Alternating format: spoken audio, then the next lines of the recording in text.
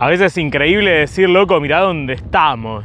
Como que no se puede describir lo que ven mis ojos y lo que puedo captar a través del lente. Está anocheciendo, viento, cae la noche, frío. Mmm, el camping tendría que estar por acá más. La calle termina en un río. Bienvenidos a un capítulo más de Un Topo por el Mundo. Hoy nos vamos a ir a Epuyén en bicicleta. Esperaba ir solo, pero mágicamente Carla, que siempre cae de parada, consiguió bici. De nuevo, gracias a nuestro amigo Joaquín que nos dio la casa. Él tiene la bicicletería en el pueblo. Es el jefe de los bomberos voluntarios, así que... Gracias a él. Gracias a Eduardo el vecino. Sí, va a estar todo subido, Eduardo, vas a aparecer. No te preocupes. Yo esperaba salir al toque roque, pero bueno, Carla tuvo que acomodar las cosas, qué sé yo, vamos a salir un poco más tarde. Esperemos llegar aún de día a Epuyén y bueno, y ahí va a acompañar con la bici. Ya no hay hospital, no hay tendinitis que valga, Carla, ¿eh? Bancarás los trapos como sea. Oh, mirá el taller. No, mirá qué maravilla, che. Increíble. De acá tenés subida Tenés plano hasta 12 kilómetros más o menos. Y después bajás para la. Después cuando subas de vuelta para agarrar la ruta para Choila, sí.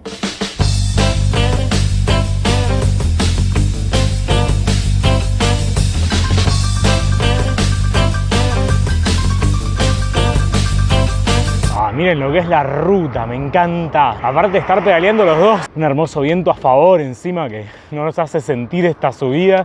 Así que estamos como queremos. Bueno, sí que tú planeas ir por la autopista del oeste hasta su fin. Buena, como. ¿Cansados? Eh, un poco. Para Epuyén estamos acá al toque. ¿Y te quedan 15 todavía? 15, ah, entonces hicimos 10. ¿Una birrita cómo la ves? No, no. ¿Un vino?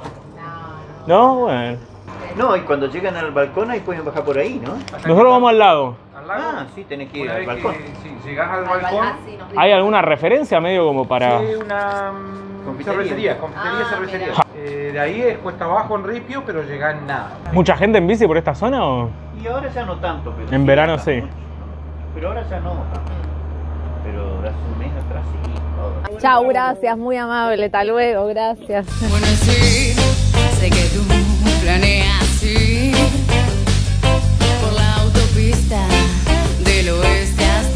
fin. Cada pasito que hago, cada milímetro que avanzo en esta ruta 40 es un paso nuevo hacia el sur en mi vida. Nunca estuve tan al sur y ahora estoy en mi límite, en mi frontera de posibilidades de producción, de conocer el sur a nivel mundial el punto más austral donde ha llegado el topo en este momento. Estábamos ilusionados de que faltaban 15 y el cartel nos dice 20, aunque al centro. Mm.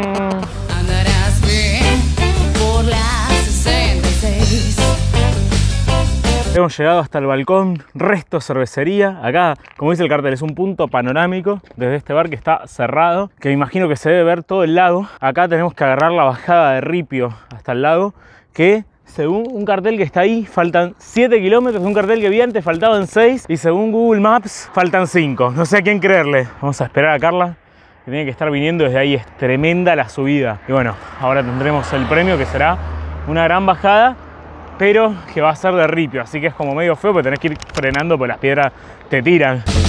Por San Luis, abajo está Missouri, ciudad de Oklahoma es tan bonita que... Ya estamos próximos al lago de Puyen y no se ve a ningún ser humano, nada más perros que te atacan al pasar con la bici, típico de llegar a un pueblo. ¿Vos querés saber si estás cerca de un pueblo? Bueno, cuando sientas los ladridos y un hocico que viene hacia tu pierna, es que efectivamente llegaste. Además de encontrarnos con estos perros bastante agresivos, tenemos acá el molino harinero de Puyem. Y ahí dice elaboración de pasta fresca, pero está cerrado. Tenemos que ir o a la izquierda o por acá derecho. Pero creo que el mapa dice derecho, así que vamos a México.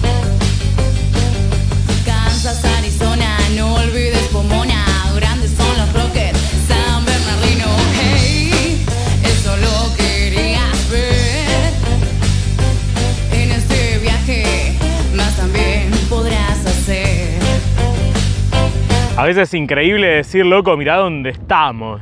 Como que no se puede describir lo que ven mis ojos y lo que puedo captar a través del lente. Está anocheciendo, viento, cae la noche, frío. ¿Y el camping? No lo hemos encontrado aún. Yo quería armar la carpa de día, maldita sea. Mmm, el camping tendría que estar por acá más. La calle termina en un río que tendremos que cruzar así, a pie. No, por suerte el avance de la humanidad construyó un puente acá a la izquierda. No saltar dos personas máximo, pero vamos a ir de a uno porque es una persona y una bici en este caso. Bueno, ¿tienen miedo? Yo no. De última tampoco es tan alta la distancia. Uy, contemplen, ahí está Rotelli. Mmm, miedo, boludo. Ay, ay, ay. Y se mueve por el viento esto, la puta madre, boludo. Ay, ay, ay. Ay, me siento re Indiana Jones. Lástima que no me dan las manos para agarrar la bici y enfocar mi cara de miedo en este momento. Ay, ay, ay. Ya cruzamos dos terceras partes del puente y ya por lo menos acá abajo no hay, no hay río y tanta, no hay tanta altura, así que ya hemos zafado. ¿Acaso podrá cruzar Carla también? Lo descubriremos. Por ahí ya lo, lo desmoroné todo. Ahora re que hay que volver, que nos pasamos. Qué gracioso. Otro para perritos abundo.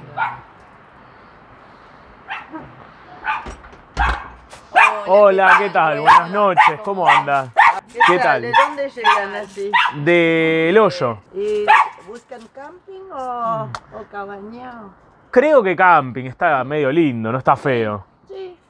¿Qué precio está más o menos? 750 pe- pesos por persona. Ok. Eso el camping y la cabaña o el dormi. Mm, cabaña, Cabaña. para dos, seis mil. No, no, hacemos, hacemos camping, damos más así gasoleros. Eh, puedes pasar por esa frontera porque el camping está allá. Ah. Y hay otra entrada ahí. Somos los únicos nosotros. Sí. Ah, bueno. Vinieron dos en moto, pero como no había nadie, no, no se, se asustaron. Amo llegar a un lugar y ser recibido así, boludo.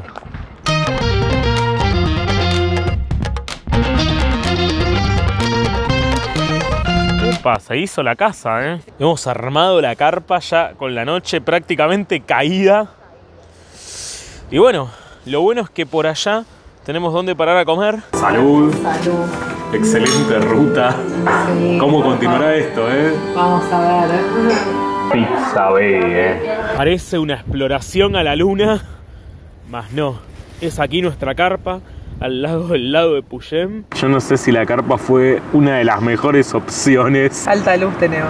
Mira, es un boliche, la podemos poner titilante. Sí, sí, sí, ha- hagamos Mirá. boliche y música, punch.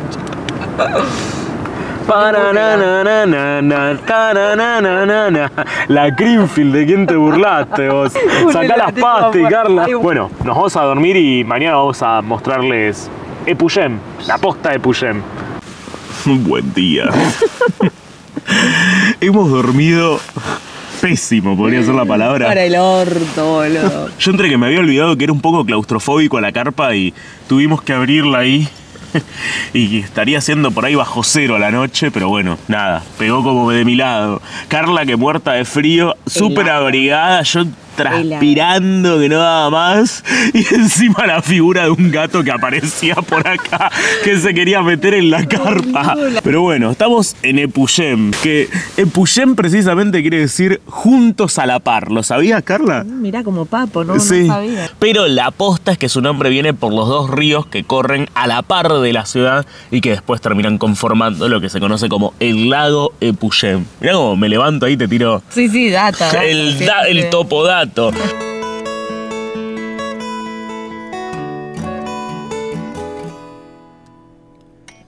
Here comes the sun, doo doo doo doo. Here comes the sun. I say it's alright.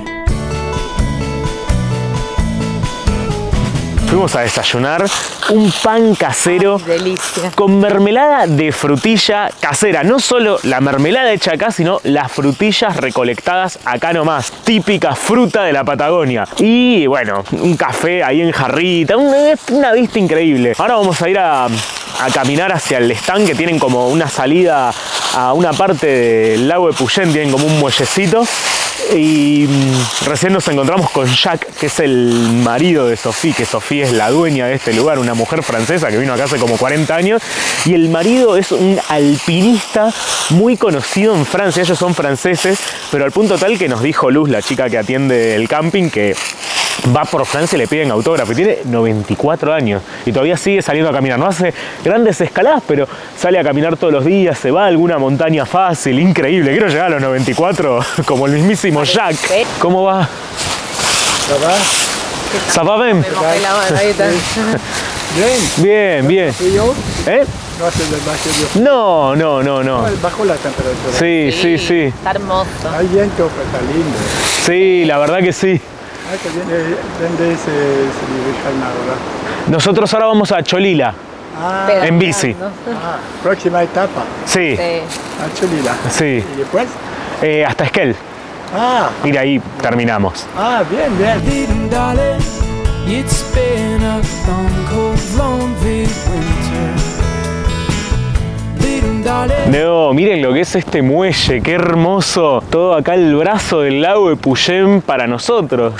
La salida casi exclusiva desde el camping. Ah, placer total. Es como tener la, la playa privada. Hemos venido hasta el Puerto Bonito, que es una de las mejores vistas que vamos a encontrar del lago de Puyén. Y está bueno, acá tenemos un cartel que te dice lo que estás viendo. El Cerro de Puyén, el Cerro Pilché, el Cerro de Rumbe, Planicia Chica, Cerro Pirqué, bueno, y el propio lago. Miren algo que nos acabamos de encontrar acá en el puerto bonito del lago de Puyén es que viene el bondi de la golondrina, el colectivo que sale desde el Bolsón, el ómnibus, los deja acá. Así que si están parando en el Bolsón, en el hoyo, pueden venir acá al lago Puyén, pasar el día que es, como les mostramos, hermoso y me imagino que en verano es aún mucho más hermoso, tiene la playita, todo y el colectivo los deja ahí, a 600 metros de la entrada al lago.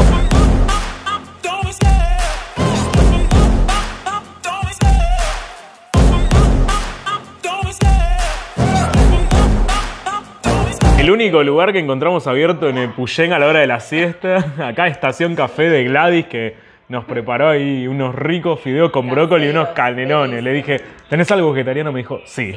Muchas gracias, Gladys. Síganla ahí en Instagram, Estación Café, que es un bar que está recientemente abierto. Bueno, Carla, ¿lista para pedalear? Lista.